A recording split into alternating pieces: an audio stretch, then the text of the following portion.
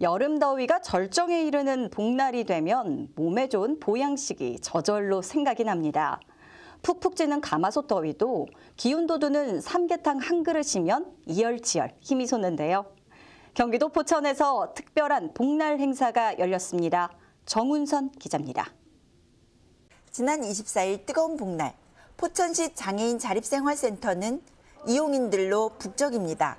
이날은 이용인들의 풍요로운 일상을 위한 특별한 행사, 센터와 계림 FS의 업무 협약이 진행되었습니다. 오늘 저희가 이거 귀한 행사를 하게 됐습니다. 우리 장애인들은 체력적으로 더 예, 어, 허약하고 많이 떨어지는데 무더운 여름날 맛있는 삼계탕을 후원해 주셔서 포천 지역의 장애인들의 여름 건강 나는데 큰 도움이 되고요. 장애인들이 휠체어나 이동권이 편치 않은데 어, 이런 먹거리도 먹고 싶은 거 마음대로 못, 못 가득거든요. 이렇게 삼복지경에 이렇게 또 어, 귀한 후원을 해주셔서 센터에서 회원들과 같이 또 삼계탕을 나누고 또 정보도 나누고 또 여러 가지 예, 그런 삶을 어, 얘기하고 그런 기회를 또 제공해 주셔서 어, 대단히 감사드리고요. 기업에서 후원이 쉽지는 않거든요. 누구나 할 수 있는 일은 아닙니다. 사회복지적인 그런 마인드를 가지고 계신 분들이 이렇게 후원하시거든요. 어, 우리 장애인들이 지역에서 자립생활 하는데도 큰 네, 도움이 될 것 같습니다. 센터는 다양한 활동을 통해 이용 장애인들의 자립을 지원하고 있습니다. 이번 협약 기업은 식품회사로 센터 이용인들을 위해 매월 정기적인 건강한 먹거리 제공을 약속했습니다. 장애인들에게 이동거리가 불편한 장애인들에게 안전한 먹거리 문화를 제공하는 게제 소임이라고 생각합니다. 제가 작지만은 식품회사를 운영하면서 저의 안전한 먹거리를 우리 장애인들에게 공급하여 건강진진에 조금이라도 보탬이 된다면 전 더할 나위 없겠습니다. 장애인들에게 뭔가 해줄 수 있다면 더 적극적으로 지원하고 후원하겠습니다. 감사합니다. 업무 협약과 더불어 김수현 대표는 이용인의 복날 건강을 위한 점심, 웅추 삼계탕 200인분과 김치, 음악 공연을 준비해 건강한 한 끼의 식사를 함께 나누었습니다. 기업의 관심과 나눔이 장애인의 일상으로 이어져 지역사회에 진정한 장애 인식의 변화를 끌어낼 수 있길 기대합니다. 복지TV 경기방송 정선입니다. 농림축산식품부에서 공모한 대규모 스마트팜 창업단지 사업에 전북 남원시가 최종 선정됐습니다. 스마트팜 창업단지 조성으로 지역 경제 활성화는 물론 청년 농업인 육성과 일자리 창출로 이어질 것으로 기대됩니다. 김영재 기자입니다. 남원시가 전국 16개 지자체가 지원한 농식품부 대규모 스마트팜 창업단지 공모 사업에 최종 선정되었습니다. 이번 공모사업 선정을 통해 남원시는 국비 최대 240억 원을 확보했으며 지적화된 스마트팜 창업단지 조성으로 청년 농업인들의 스마트팜 창업 및 취업의 활로가 열릴 전망입니다. 대규모 스마트팜 창업단지를 마중물로 에코에너지 스마트팜 혁신단지 완성과 젊은 청년 농업인 유입을 통해 지역 발전의 선순환 체계를 구축해 나가겠습니다. 이번 공모사 선정을 통해 남원의 스마트팜 생태계 구축으로 남원 지역 경제 활성화와 일자리 창출 및 청년 농업인 육성을 통해 농업 분야 발전까지 이어질 것으로 기대됩니다. 복지TV 전원방송 김영지입니다. 전북 임실군이 건강한 임신과 출산을 지원하기 위해 임신사전 건강관리 가입력 검사비를 지원합니다. 임신을 희망하는 부부를 대상으로 검사 비용을 지원하는데요. 박예슬 기자가 전합니다. 임실군이 임신을 희망하는 부부를 대상으로 임신 사전 건강관리 지원 사업을 추진합니다.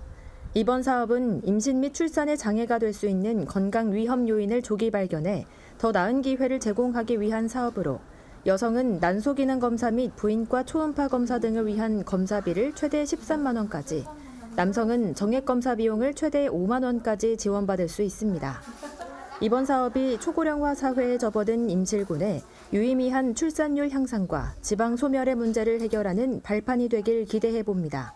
복지TV 전북방송 박예슬입니다. 미국의 유명 애니메이션 스튜디오에서 근무하는 한국인 애니메이터 김혜숙 씨가 전남 순천을 찾았습니다. 애니메이터의 꿈을 꾸고 있는 청년들을 위해 순천시가 초청 강연을 마련한 건데요. 애니메이터로서 성장을 위해 필요한 것은 무엇인지 아낌없는 조언으로 뜨거운 반응을 모았습니다. 이영춘 기자입니다. 전남 순천시가 지난 19일 세계적인 애니메이션 제작사인 픽사 스튜디오의 김혜숙 애니메이터 초청 강연을 성황리에 마쳤습니다. 순천은 물론이고 광주, 부산, 천안, 나주, 무안 등 전국 각지에서 350명이 넘는 지망생들이 몰렸고 김혜숙 애니메이터는 글로벌 무대에서 애니메이터로 일하는 법이라는 주제로 강연을 시작했습니다. 김 애니메이터는 꿈의 직장이라 불리는 픽사 스튜디오에서 근무하게 된 과정, 픽사의 창의력을 높이기 위한 작업 환경 등 애니메이터 학생들에게 팁을 전수했는데 특히 좋은 애니메이터로 성장하기 위해서는 관찰력, 꾸준함, 소통력 세 가지가 필요하다. 영화, 광고, 미술, 책 모든 분야가 애니메이션의 재료가 될 수 있으니 다양하게 공부하라고 당부하며 해외 스튜디오도 도전하라. 최고의 환경에서 최고의 파트너들과 작품을 만들 수 있다. 영어 공부도 병행하고 후회 없이 시도하라는 진심 어린 조언으로 학생들에게 확실한 동기를 심어줬습니다. 노광규 순천시장은 순천을 애니메이션, 웹툰 등 문화 콘텐츠로도 세계 도시들과 경쟁할 수 있는 문화산업 메카 순천을 만들기 위한 초석 마련에 총력을 다하고 있다고 밝혔습니다. 복지TV 뉴스 이영춘입니다. 전남 광양시에서 인구의 날을 기념하는 시민 토론회가 열렸습니다. 인구 구조가 변화하고 있는 지역의 현실을 바라보고 인구 문제 극복을 위한 방안을 찾기 위해 마련된 자리인데요. 김재상 기자가 다녀왔습니다. 전남 광양시는 지난 19일 제13회 인구의 날을 기념해 인구정책 시민 토론회를 개최했다고 밝혔습니다. 이번 토론회는 저출생과 고령화로 인구 구조가 변화하고 있는 지역의 현실을 인식하고 인구 문제 극복 방안을 함께 모색하기 위해 마련된 자리로 정인화 광양시장, 최대원 광양시 의회 의장을 비롯해 광양시민, 인구정책 전문가, 담당 부서 공무원 등 60여 명이 참석한 가운데 진행됐습니다. 일부 기념식에서는 인구정책 유공자를 표창하고 광양엔 가족에라는 주제의 쇼폼 영상 공모작을 시상하며 당선작 3편을 함께 시청했습니다. 2부에서는 본격적인 토론회로 출생률 제고 방안, 부모교육 활성화 방안, 청년이 머무르는 재미있는 광양, 여성 청년 유입 유지 방안, 신중년 사회공헌 활동 확대 방안, 귀농 귀촌 활성화 방안, 총 6개의 주제가 제시됐습니다. 토론은 시민이 의견을 제시하면 담당 부서 공무원과 전문가가 현황을 설명하거나 제안하는 방식으로 이루어졌고 토론이 끝난 후 각 주제마다 결과를 발표했습니다.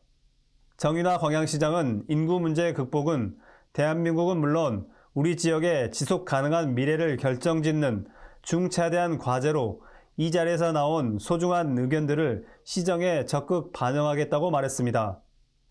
복지TV 뉴스 김재상입니다.